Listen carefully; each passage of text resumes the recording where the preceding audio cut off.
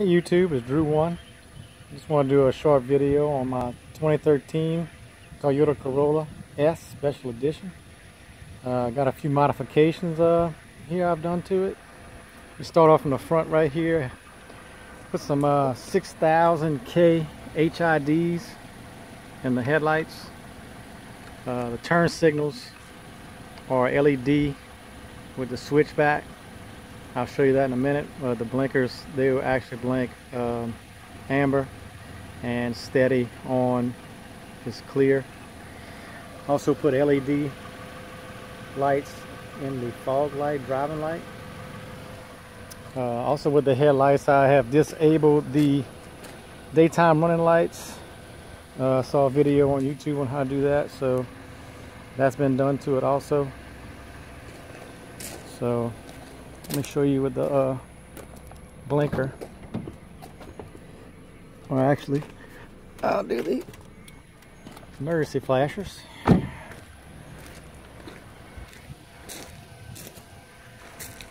As you can see, they blink amber. And they're steady on clear. And I'll do one of the blinkers for you. See.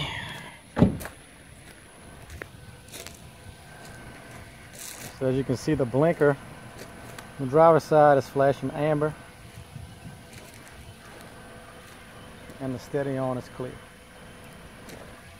So I thought that was pretty cool. So I install those.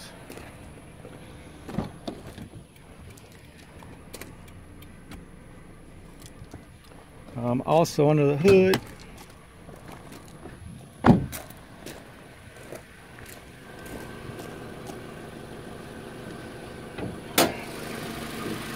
Put a K&N cool air intake on it. Uh, I noticed the power difference probably between 3,000 and 6,500 RPM. Not really a whole lot difference in the low end. It does make a lot of difference in the noise, which I can live with.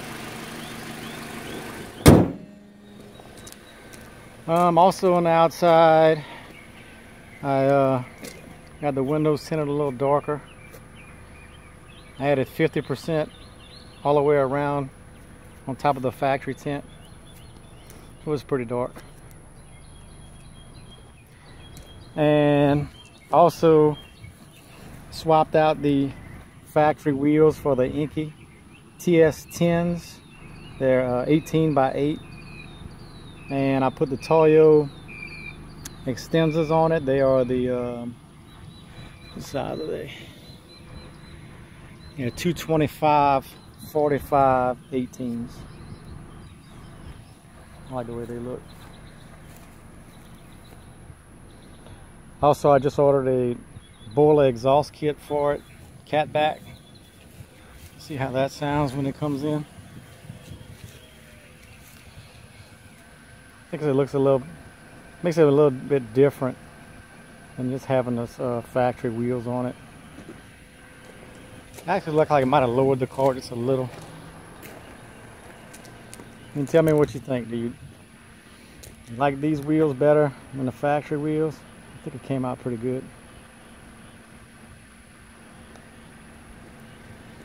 And I can give you, this color is actually called Hot Lava. I didn't get a chance to clean inside the car. It's supposed to rain today. I just kind of wiped the outside down give you a little sound on how the intake sounds from inside.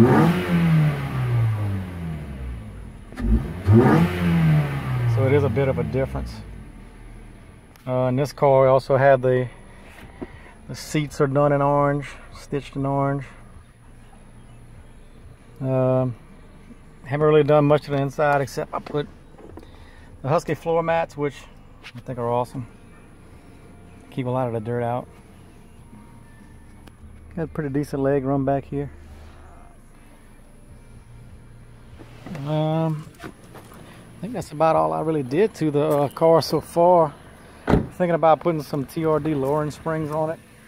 That should lower the car. I think it's at uh, half inch in the front, inch in the back. I mean, I'm not sure if I want to do that or not yet. Uh, also,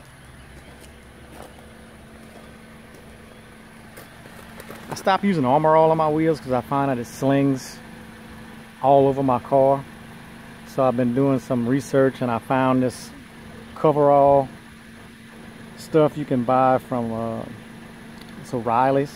is the only place that I saw it has it.